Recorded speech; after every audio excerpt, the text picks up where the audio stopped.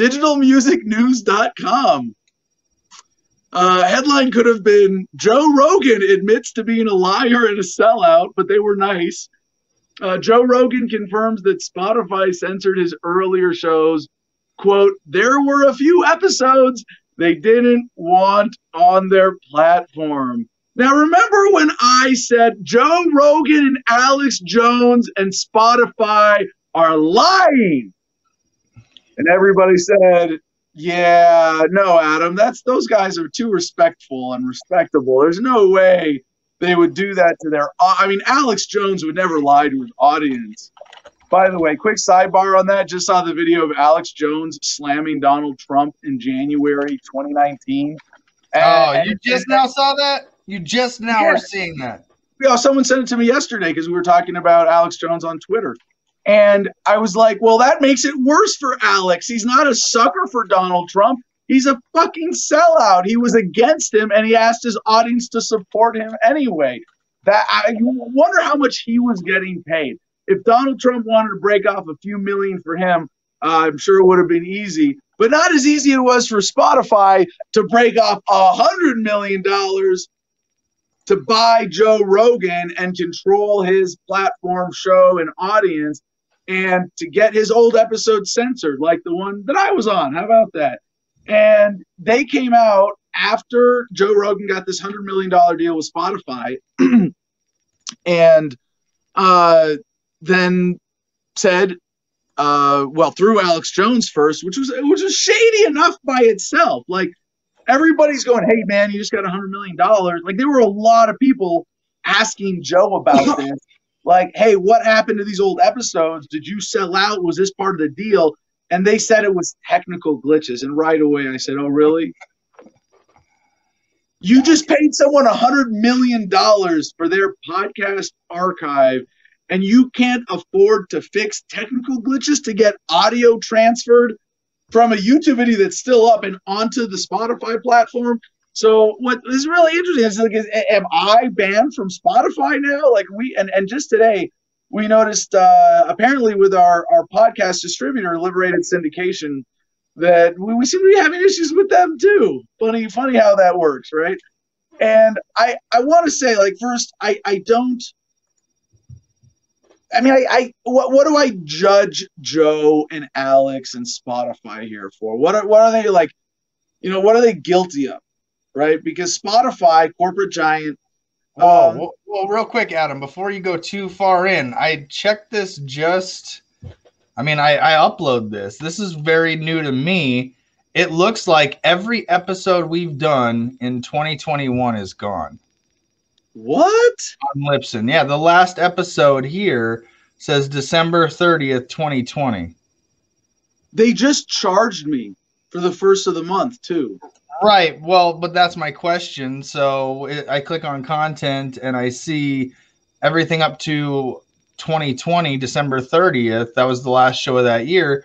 But every show in January and February is gone.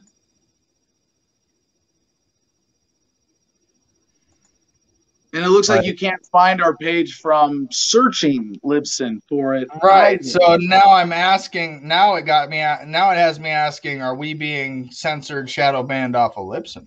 So I, I was talking to a, a, potential sponsor for for Adam versus the Man today, and they said, "Oh yeah, where's your excuse me, where's your uh, podcast? Where's your where's your audio distributed? Because I can send them the YouTube channel is our you know biggest destination, whatever." And uh, then try to find the Libsyn link and it wasn't working. Very strange. A bigger challenge with censorship we'll come back to. Huh. Uh, but Joe Rogan, Libsyn, Joe Rogan, or sorry, uh, Spotify, Alex Jones, Joe Rogan. We'll do them in that order. Spotify, major corporate giant, right? Like they are so big that it would be hard to imagine there not being some government corporate relations going on here. And it goes both ways, right? They go to the government and say, "We'll give you money," or "We'll give you your." They go to politicians, right, and say to the politicians, "We'll give you money if you do this as a politician." And then the government goes to the company and says, "We'll let you stay in business if you censor these voices that challenge our racket that allows us to keep you in power and keep you going strong with your business, right? So I think Spotify there, uh, you know, could be completely innocent, right? They could have a gun to their head. I, I, I, I've theorized this about Google before as well. You know, uh, is is uh, Sergey Brin really a Hillary Clinton supporter, or is he more concerned with getting suicided, right? Well, in Spotify's case, you know, they are this mechanism and they may have a gun to their head, but yes, they bought Joe Rogan for a $100 million. They bought specifically the Joe Rogan experience, but they also bought his dishonesty. Now, let me tell the audience something right now. Like I would I would rather have my integrity than than the money. You know, I would rather uh, know that I'm I'm being honest and doing the right thing um, and if I if I lied to you for a hundred million dollars, um, I, I'd find a way to let you know. And it seems like that's what Joe Rogan has done here, right? But a hundred million dollars. That's I, I want I want to in case anybody any of the censors are listening right now. I will stop doing Adam versus the Man forever for a hundred million dollars, right? Like, yeah. So so it's CJ Jim. We're fucking out of here, and and it's not because we don't like the show, and it's not because we're in it for the money. But I know that given what we're able to do with Adam versus the Man being relatively limited with with censorship and shadow banning, that uh, I I could do more good with a hundred million dollars. You know how many copies of Freedom I could give away with a hundred? Well, thirty cents each. I could give and, and distribute. I, I could give away about uh, three hundred. We for a hundred million dollars, I could give a copy of Freedom to every man, woman, and child in America. Yeah, Fuck yeah, I'd be out of here for a hundred million dollars. I would love you, my audience. Yeah, for a hundred million dollars, fuck you all too. No, I'm just kidding. But we we we'd reach more people, right? Our you numbers just dipped, Adam. We've lost everybody. It went to zero. We, we are the losers today. Am I not allowed to say fuck the audience? Is that the one thing? No, okay. No, oh, no they're all the people that have been there during this whole thing. Is the audience? You can't say fuck the audience because if you can say but, fuck. You just can't say fuck the audience. That's only status Adam says that. Shit. Yeah, that's a status Adam thing. But CJ, Joe Rogan did that. He said, "Fuck the audience. I'm going to lie to you and deceive you, and I'm going to sell out for a hundred million dollars, and I don't even have a cause that I believe in to put this towards. I'm just going to take the money and run. And fuck you guys who have helped build the show. Fuck all of your my prior guests I'm going to take the hundred million dollars. I'm going to go hang out with Alex Jones in Texas, and and the truth and integrity can go to hell. That's what, he, that's, that's what Joe Rogan said. Isn't Joe Rogan opening up a comedy scene and and you know he wants it to be like this big thing out there in Texas? Like, what does he think's going to happen when his previous guests and we can start opening up to public events after this you know COVID bullshit's over? Uh, and in Texas, they are, you know, hey, have at it, go out and be free. Uh, you know, they're, you know, and so that's going to start coming to fruition for him. What's to say his prior guests that have been censored don't just show up? Like Alex Jones, and I mean, he's been friends with Joe Rogan, they say, for years. Alex they, Jones was Spotify's smokescreen for all this. Not only was he the first one to lie to the public, but he was Joe Rogan's excuse to say, I'm not controlled. And that was a lie because Joe Rogan had Alex Jones on after the switch to Spotify, even though his prior episodes weren't there. And so I wonder, like, and, and I, am I, I'm not the only one whose prior episodes were deleted, obviously, but it's sort of like they censor conservatives to cover up the real censorship of libertarians. And this is a perfect, real time, specific example of that where both Alex Jones and I had been on Joe Rogan's show. Joe Rogan goes to Spotify, they censor all of us. They use Alex Jones to come out and say, "Well, they're, they're yeah, don't get don't get upset. They're they're not censoring my episodes with Joe. It's just technical glitches." And I so identify as a libertarian, Adam. I'm a, I'm a libertarian. I I I, uh, I identify as a libertarian, and you know, 1776 will happen again. Well, hey, I can self-identify as an Apache helicopter, and it doesn't turn my dick into propeller blades. I'm sorry, Mr. Jones. But with Joe Rogan here, that's what he did. He sold out his audience, and now it's falling apart. You know, so what's Alex Jones guilty of here? Alex is is way more like deliberately engaged, complicit in this deception, and he didn't even get paid off. Although who knows? Maybe he did behind the scenes. We don't, we don't know, obviously. But he did get a, he did get able to come. Uh, A was, was was suspicious by amount- Spotify. A suspicious amount of uh, pharma, nut- or excuse me, a suspicious amount of nutraceuticals and toothpaste have been sold at the Infowars store. Super male vitality. Ah! Right. okay, so Jim's enjoying this, smoking Jim- along. Yeah, Jim. Jim knows what to do. but to Joe Rogan, you know, he came out and admitted this. So back to the news article, uh, CJ, if you want to pull this up. Uh, Joe Rogan confirms that Spotify censored his earlier shows. There were a few episodes they didn't want on their platform. For months, Joe Rogan fans were left wondering what happened to a number of earlier shows that went missing following the Spotify transition. Now we have the answer. Oh, yeah, they were just missing. Whoops. The answer to the riddle came from Joe Rogan himself, who has now confirmed that Spotify simply refused to transfer a number of his earlier shows as a condition of their $100 million exclusive partnership. And Joe Rogan happily agreed to it. During the transition of Rogan's podcast episodes onto the Spotify platform in 2020, fans quickly noticed that multiple past episodes were glaringly omitted. Those included interviews with controversial figures like Milo Yiannopoulos, Gavin McInnes, and Alex Jones, who was separately banned by Spotify. See, they mentioned the conservatives, not the libertarians being censored, or libertarian in this case. Additionally, Rogan issued a rare public apology and correction over his claim that left wing anarchists had set fires in Oregon, a point that was made during an interview with Douglas Murray. The information was wrong. The Rogan's mea culpa was highly unusual and believed to be the result of pressure from activist Spotify staffers. Now, uh, about this, you know, there's there's this uh, subplot subplot here that it's not just Spotify corporate, right? It's it's it's the staffers who who are concerned with making sure that everything on their platform is politically correct, which is really not what it's about. It's not about being polite or politically correct or sensitive. It's about banning a message that is a challenge to how you get paid off. Now, there's so much money behind the racket that we are taking on with this message. It's it's almost impossible to say who's bribing who, who's threatening who, because for for 100, I mean, how many people would kill for a 100 million dollars?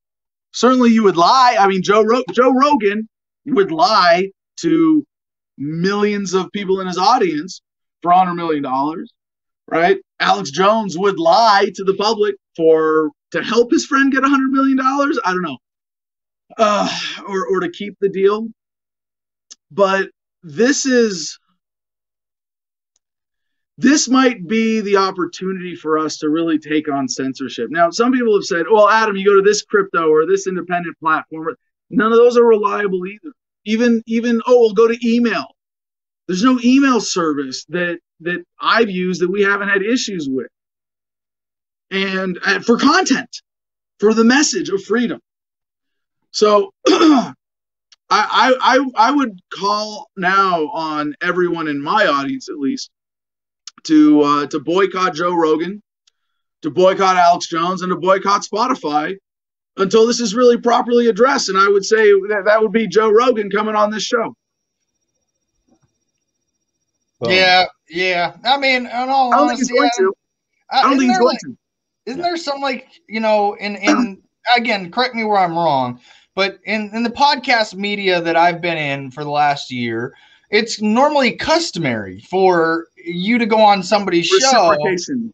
Reciprocation of uh, being on their show is is usually just a common courtesy, more in a, a professional courtesy. Actually, Actually experiencing that today with our guest today. right like we are actually doing that which by the way i was uh the link did get to him a little uh late but it's still there he's active and so hopefully he'll be able to click on i'll call him after this but yeah for joe i mean nobody can say you weren't on the joe rogan experience you know what i mean? Yeah. they can't they can't take this from you. That experience of having that conversation you know it's still there. So you know that that interview still exists if you're looking for it.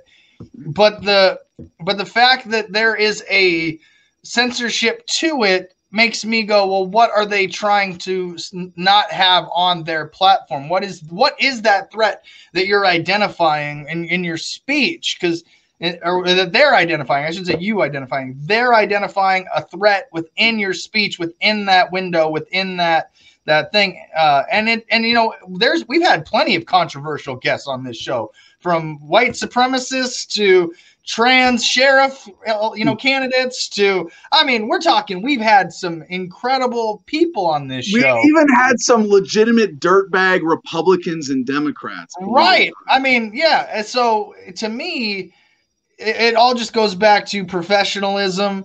Uh, you know, we started, when we started this, you know, we made it clear you were on Joe Rogan. These are all facts. Um, you know, we bring this up every so often. This is, you know, I wouldn't say we beat this horse daily. It's more like when the well, the as, story as Joe developed. Rogan slash Alex Jones come up in the news, and then uh, every now and then my name is attached. When they when they include the whole list of these are all, and they stopped doing that. I don't know if you noticed when this first happened. Oh, here's the list of all the episodes you know that have been censored. Now they cover it, and it's like, oh yeah, Milo and Gavin and Alex Jones. right. So, uh, Jim, I, I know you're you're putting some thought into this. Do you have anything to say to Mr. Rogan? Um, you've been challenged, man. Don't be a pussy. You know, that's all I can say. I mean, you got a hundred million dollars, Mr. Rogan. I mean, you shouldn't be afraid to just come on and have a talk with Adam Kokesh. Every- I mean, Everybody knows that if you're being truthful and you're being forthright and you're being honest, you have nothing to hide. You you be willing to go on anybody's show and defend your position, and, unless you unless you know you're wrong. You know, you ain't gonna come on the show if you know you're wrong. At least So- clarify. At least clarify. You know, t- I think you owe it to your guests to clarify. I mean, that's kind of my thought. Is you're a guest in his home, you know, in his studio, in his environment, and you know, he even says you can be back on. You can, you know, like he'll have you back on. Wants to do it again. Like the, I listened to all the interview, clipped it out. I mean, it to me, it's it's almost like you have to wonder if he was told specifically a list of names that you will one never mention again, let alone go on their shows. So, Yeah. Possible. you know, like there's there's a chance that he'll just forget you exist and then they'll let Alex Jones, Milo be that alt voice that they'll kind of bully and demonize.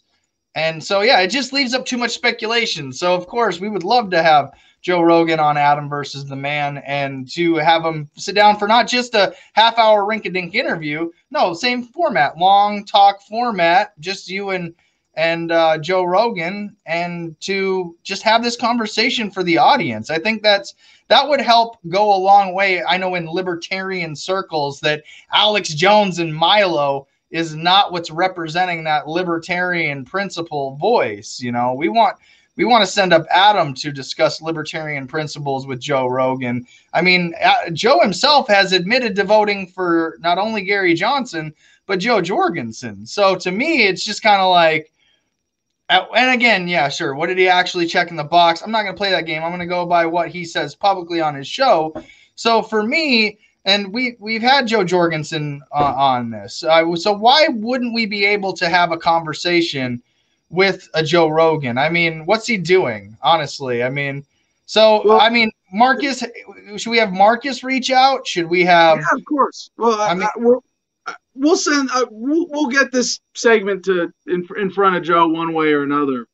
But I want to say, you know, what's what's he doing? What's he planning? Well, if he had integrity, he would realize that he's got this hundred million dollars, and I don't know if he gets it's it's a hundred million dollar deal. Is that you know over ten years with options? Blah blah blah. Who knows how much he actually got? But he knows that he got that money by allowing himself to succumb to the great evil of censorship. You know, Tyrion Lannister, right? When you cut out a man's tongue, you do not prove him a liar, only that you fear what he has to say. So I, I would hope. I mean, if I had hundred million dollars, I'd be launching a sense. I'd be launching a new network, a new a new platform. Uh, where, where, you know that was actually censorship free. Like all all the ideas that we've discussed on the show, even like with Facebook, you don't have to censor everything to make a platform, you know, content safe. You can put screens on top of things and say, hey, someone flag this, click through. Simple as that. But when they cut you off from talking, now I, I want to finish this article and, and and then we'll move on because it is it is relevant to uh, Rogan's situation and how he did this, right? It's not like he came out uh, in, in in a press conference and said, "Ta-da! Look, here's what really happened. I got censored, and I'm calling it out now." He kind of let it slip.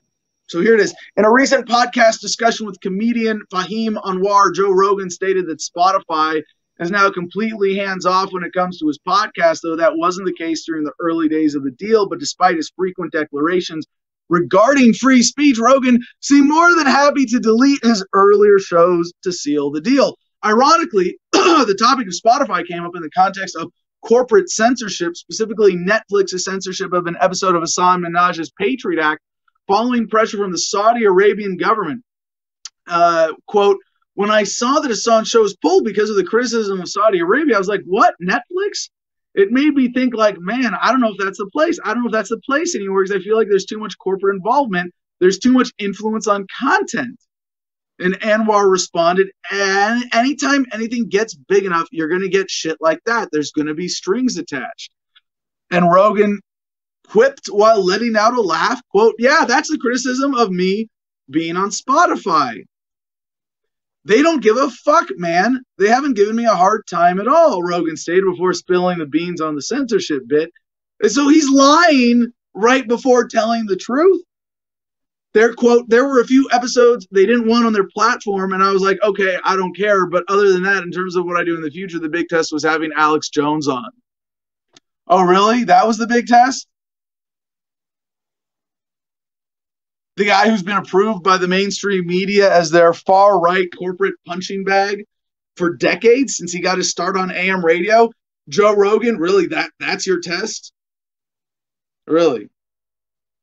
So that answers the question. The Rogan insisted there won't be further corporate oversight moving forward. Quote, a lot of people like, they're telling Joe Rogan what he can and can't do. They're not. They're not. and we're supposed to believe you now as you are lying. Like, I mean, you lied like from one sentence to another. They don't give a fuck. They haven't given me a hard time at all. Oh, but there were a few episodes that. I, I mean, this is this. I, I I wonder about this because like I've never heard accusations about Joe Rogan's integrity before this. Have you? Like there, there, there, Joe Rogan. I mean, he's had controversies with what he said and guests he's had on, but never a, a question of his integrity. I mean, now he's lying on his own show. Am I am I am I off in my analysis at all here, guys? Oh, sorry, I was muted. Yeah, so uh, you know, this is kind of the issue that this show raised the very moment that we put up the headline, you know, Joe Rogan has a hundred million dollar deal with Spotify. Uh, just for the record, I haven't watched Joe Rogan's podcast since the move to Spotify. If they're not gonna have, if you're not gonna have Adam Kokesh's interview it on, uh, I know your message is being censored. Why am I going to, you know, supports you in any facet, way, shape, or form, especially as his executive producer. So I haven't watched Alex Jones or Joe Rogan since all this censorship and conceding to censorship was challenged when we first put it out. So just just again for the record, we've challenged his integrity since the beginning, and you can correct me if I'm wrong.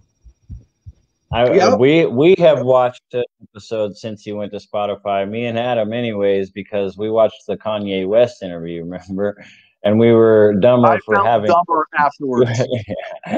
yeah, it was. It, it, basically confirmed like his selloutness, his his passoverness. He he he now I believe has no matter how vague or specific it is, he has a list of disapproved content stuff he's not allowed to bring up narratives he's not allowed to explore you know what I mean? I I, I'm, well, I, I'm, I would think it's a little more complicated than that. Like he genuinely goes, "Let me push back and see if they'll let me have Alex Jones on and see what happens."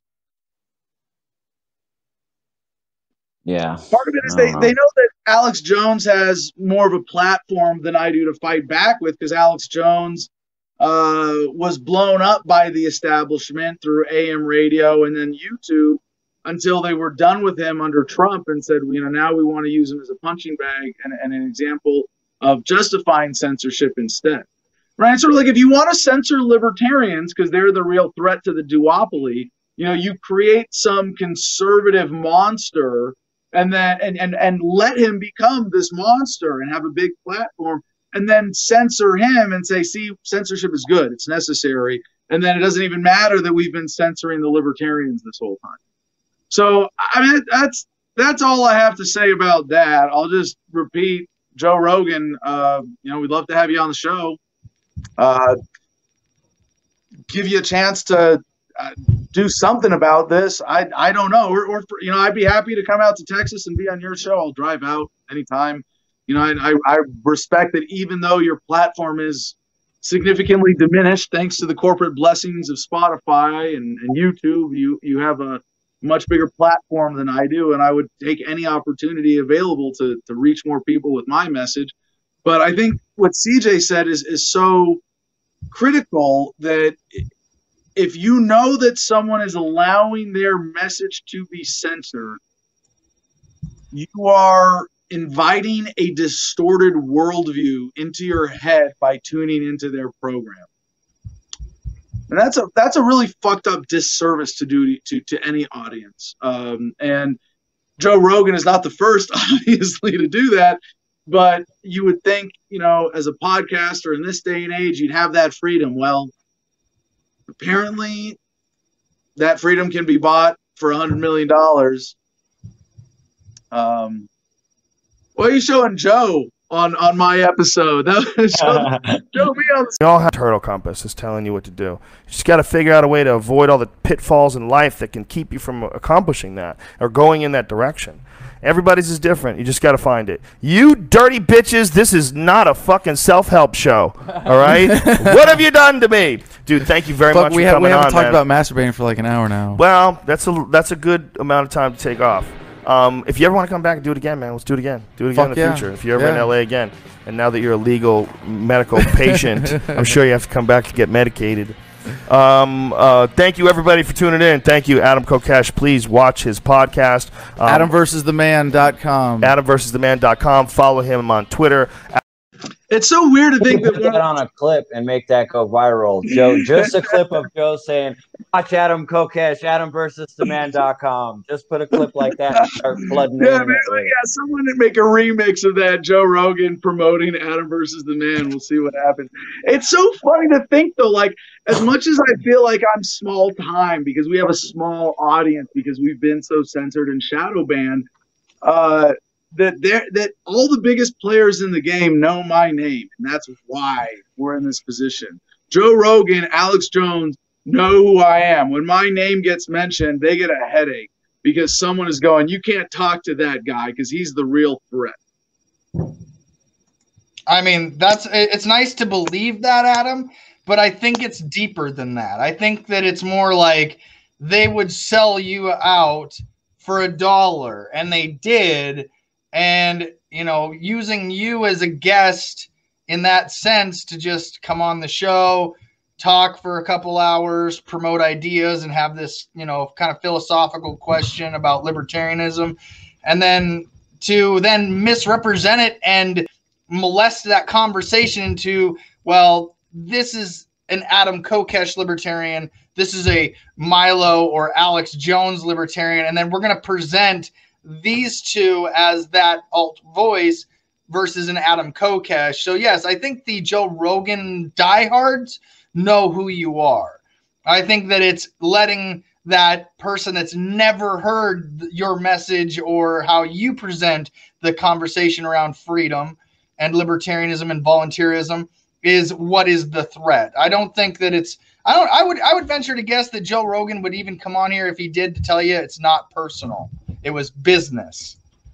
I would venture to guess that that's going to be the excuse. If I'm just Oh, I'm sure. I'm sure it's not personal uh, against me at all with any of these guys. It's just like, oh, he's that guy. Well, we're not going to serve that cause. We're going to serve the cause of statism and authoritarianism and the status quo.